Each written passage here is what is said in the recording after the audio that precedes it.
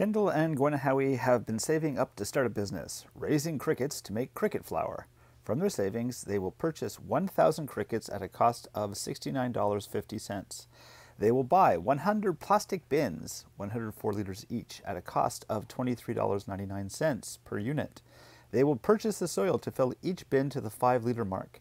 Kendall and Gwen Howie will be adding small amounts of compost to their bins on a daily basis, changing the compost each day. They have made arrangements to lease a heated barn for $2,250 per month.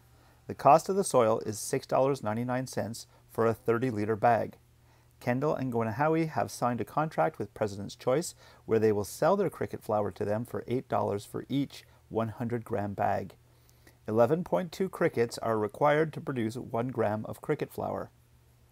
Kendall and Gwen Howie begin their business with 1,000 crickets. From their extensive research, Kendall and Gwen Howie have learned that a cricket population will increase by 14.2% every four days.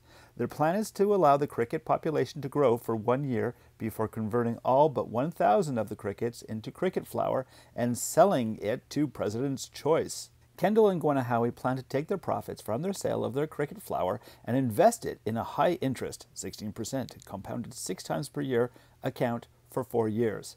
Your job as a math consultant is to calculate Kendall and Gwen Howie's total amount made from their investment after four years. Remember that profit is defined as final gain, the difference between the amount earned and the amount spent in buying, operating, or producing something.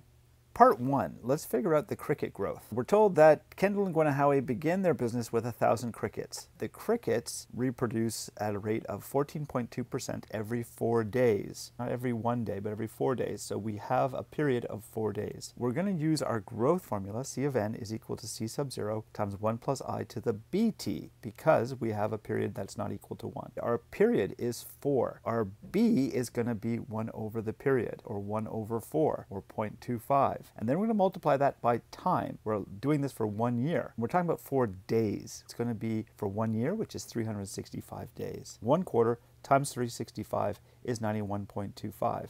Then we come to our growth formula and we fill in everything that we know. We're starting with 1,000 crickets. One added to our growth rate is 14.2%, which is divide by 100, 0.142. We're adding that to 1. We get 1.142. To the power of BT, 91.25. Handy dandy calculator time. 1,000 times 1.142 to the power of 91.25 and that gives us a huge number of crickets. 182 million crickets. 182 million 823,484.377 crickets. But you can't have 0.37 of a cricket. You either have a cricket or you don't have a cricket so we're going to round down. There's our 182,823,484 crickets. Part two, we want to sell the crickets. Kendall and Gwen Howie have signed a contract with President's Choice where they will sell the cricket flour to them for $8 for a 100 gram bag. It takes 11.2 crickets to produce one gram of cricket flour. We're going to take all of these crickets. We're keeping a thousand of them to continue the business of producing cricket flour. I'm going to subtract thousand from that. That gives us 182 million. 822,484. Let's figure out how many grams we have. So we're going to divide this number by 11.2. You can set this up as a ratio. You can say 11.2 crickets makes one gram. We have 182,822,484 crickets makes how many grams? X grams. I want to get X alone and on top, so I'm going to cross multiply it. So I'm going to bring it up here. I'm going to bring the 11.2 down here. We can just ignore the 1 because 11.2 divided by 1 is 11.2. We end up getting x is equal to 182,822,484 divided by 11.2. I want to take off the decimal. That number divided by 11.2 gives us how many grams of crickets we have. 16,323,436 grams of cricket flour. Then we want to figure out, okay, let's divide that by 100 to figure out how many bags we have. One bag is 100 grams and we want to know how many bags we're going to get. So I'm going to put Y bags is 16,323,436 and change grams. I'm going to cross multiply this way. So we have 1 times the 16 million 332,436 divided by 100, which as predicted, we're just going to divide by 100. The ratios will always get you to the proper operation, in this case division by 100. That will give us, move the decimal point back twice. We want to know exactly how many bags because you can't sell them a fraction of a bag. We're going to get 163,234.36071429 bags. You can't sell them a fraction of a bag. We're going to have 163,234 bags of cricket flour to sell to them. That's an awful lot of cricket flour. Each bag we are selling for $8. We're just going to multiply this number by $8, and that's going to be how much money we're making from the sale of the cricket flour. That many bags times $8 is $1,305,872.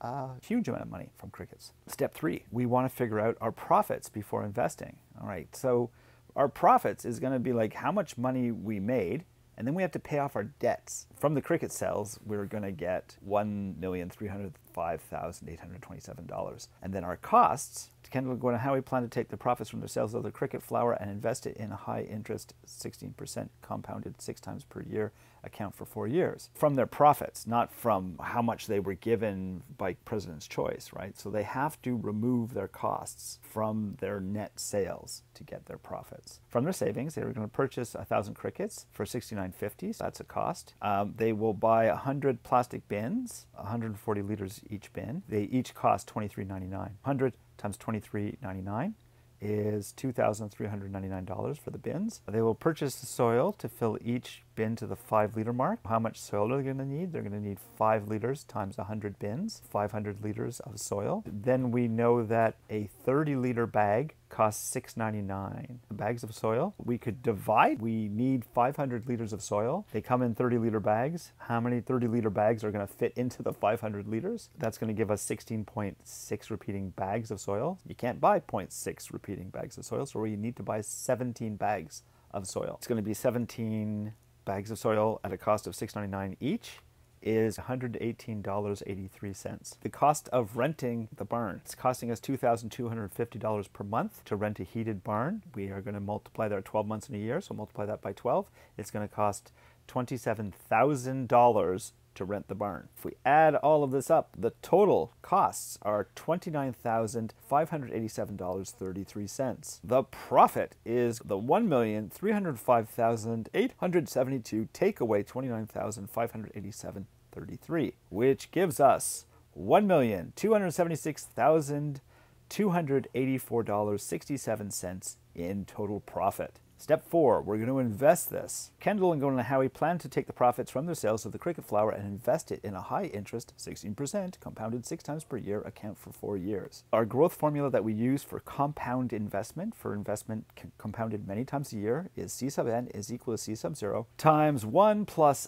i to the power of n, where n is m times t. m is the number of compounds per year times the number of years. m is 6 in this case, 6 times per year, and t is four years, which is 6 times 4, which is 24. I is j divided by m, where j is the nominal rate or the annual compound interest rate, which is 16%. 16% as a decimal is 0.16, and we're going to divide that by 6. We have 0.16 divided by 6 gives us 0.0266666666 repeating. Don't round this. If you do round it, you get a different answer. The total profits, $1,276,284.67 times 1 plus 0.026 repeating is 1.026 repeating to the power of n, which is 24. Handy dandy calculator time times 1.026 repeating to the power of 24 is equal to 2,400,000 $239.81 rounded to the nearest cent. That's a lot of money. After four years, Howie, and Kendall have $2,400,239.81 that they have earned from their cricket flour business. That is it for the ES. Have a good day.